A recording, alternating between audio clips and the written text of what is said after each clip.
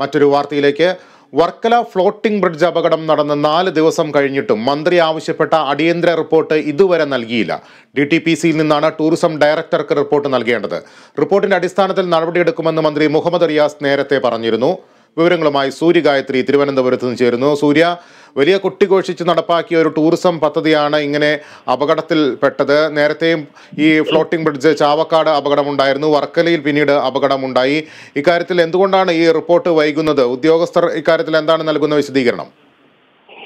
ലിബീഷ് കഴിഞ്ഞ ശനിയാഴ്ച രാത്രിയാണ് വർക്കലയിലെ ഫ്ലോട്ടിംഗ് ബ്രിഡ്ജ് തകരുന്ന ഒരു സാഹചര്യം ഉണ്ടായത് ഞെട്ടിക്കുന്ന ഒരു സംഭവം തന്നെയായിരുന്നു. വളരെ വലിയ സുരക്ഷാ സംവിധാനങ്ങൾ ഒരുക്കിയിട്ടുണ്ടെന്ന് പറഞ്ഞ് തുറമു മന്ത്രി ടൂറിസം മന്ത്രി മുഹമ്മദ് റിയാസ് തന്നെ ഉദ്ഘാടനം ചെയ്ത ഒരു ഫ്ലോട്ടിംഗ് ബ്രിഡ്ജാണ് വർക്കലയിൽ ഉണ്ടായിരുന്നത്. ഈ ഫ്ലോട്ടിംഗ് ബ്രിഡ്ജാണ് രാത്രി അപകടത്തിൽ ഉണ്ടായത്. പതിനഞ്ചോളം പേർ അന്ന് ഫ്ലോട്ടിംഗ് ബ്രിഡ്ജിൽ ഉണ്ടാവുകയും അവർ കടലിൽ വീഴുന്ന സാഹചര്യമൊക്കെ ഉണ്ടായിരുന്നു. ഡിസംബറിലാണ് ഈ ഫ്ലോട്ടിംഗ് ബ്രിഡ്ജിന്റെ ഉദ്ഘാടനം നടക്കുന്നത്. മൂന്ന് മാസം പോലും തികയുന്നതിന് മുന്നേ ഈ ഫ്ലോട്ടിംഗ് ബ്രിഡ്ജ് തകർന്നു വീഴുന്ന ഒരു സാഹചര്യം ഉണ്ടായി എന്നതാണ് ഏറ്റവും പ്രധാനപ്പെട്ട ഒരു കാര്യം. അപകടത്തെ തുടർന്ന് കരാർ കമ്പനിക്ക് വീഴ്ച വീഴ്ചയുണ്ടായതായാണ് ടൂറിസം വകുപ്പ് അന്ന് വിലയിരുത്തിയത്.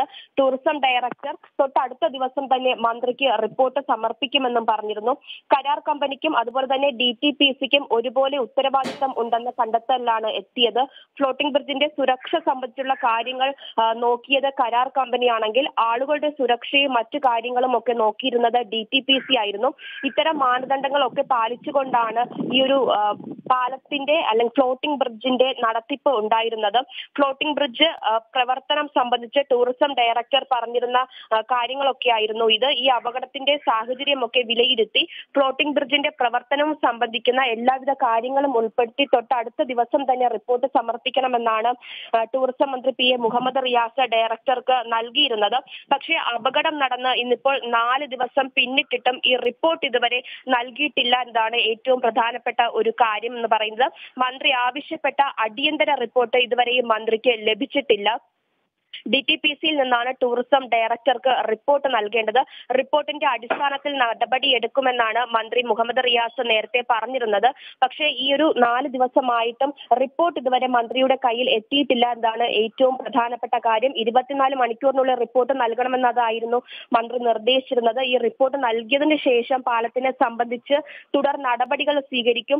എന്താണ് പാലം ഇത്ര തകരുന്നതിനുള്ള സാഹചര്യം ഒരുക്കിയതെന്നടക്കമുള്ള കാര്യങ്ങളിൽ ഒരു തുടർ നടപടി ഉണ്ടാകുമെന്നടക്കം മന്ത്രി അപകടത്തെ തുടർന്ന് അന്ന് രാത്രി തന്നെ പറഞ്ഞിരുന്നതാണ്. പക്ഷെ റിപ്പോർട്ട് ഇതുവരെ മന്ത്രിക്ക് കിട്ടിയിട്ടില്ല. ഡയറക്ടർ ഇതുവരെ മന്ത്രിക്ക് റിപ്പോർട്ട് നൽകിയിട്ടില്ല. റിപ്പോർട്ടിനെ സംബന്ധിച്ച് എന്താണ് നൽകാത്തതെന്ന കൂടുതൽ വിവരങ്ങൾ ഇതുവരെ ഡയറക്ടർ മാധ്യമങ്ങളോടോ അല്ലെങ്കിൽ പുറത്തോ പറയുന്ന ഒരു സാഹചര്യവും നിലവിലില്ല. ലിബീഷ്.